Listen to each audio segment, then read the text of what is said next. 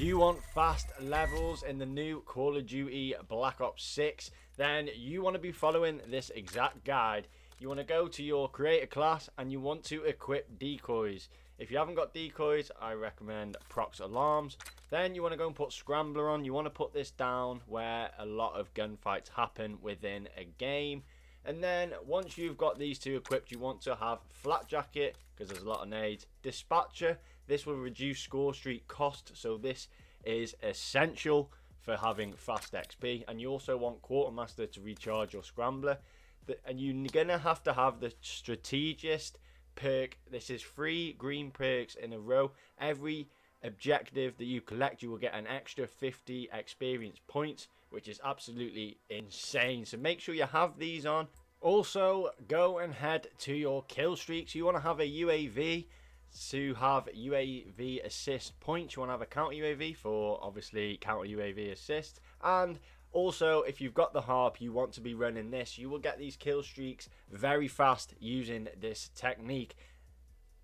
And then you get yourself into kill confirmed or any objective mode. But I think kill confirmed is the best for high score games. As you can see on the screen now, I got up to an 850 score.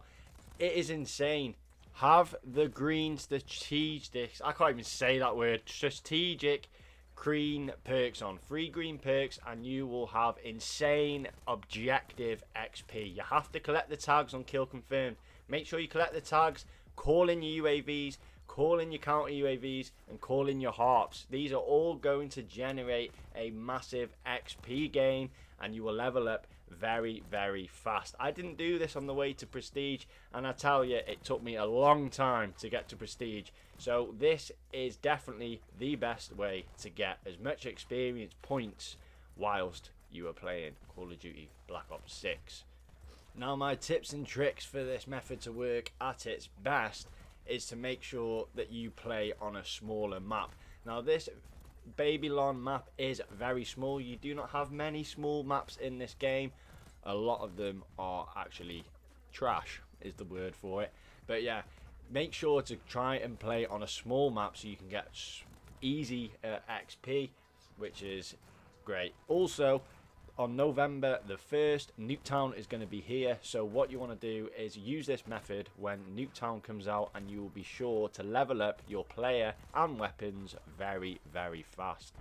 Now, as you can see on screen, I got 10,655 points. And look at my score compared to everyone else in the game. This is what you want, a high score. And get high score on OBJ. If this video helps you in any way, please consider liking, hitting the subscribe button and catching me in more Call of Duty Black Ops 6 videos in the future. Thank you for watching.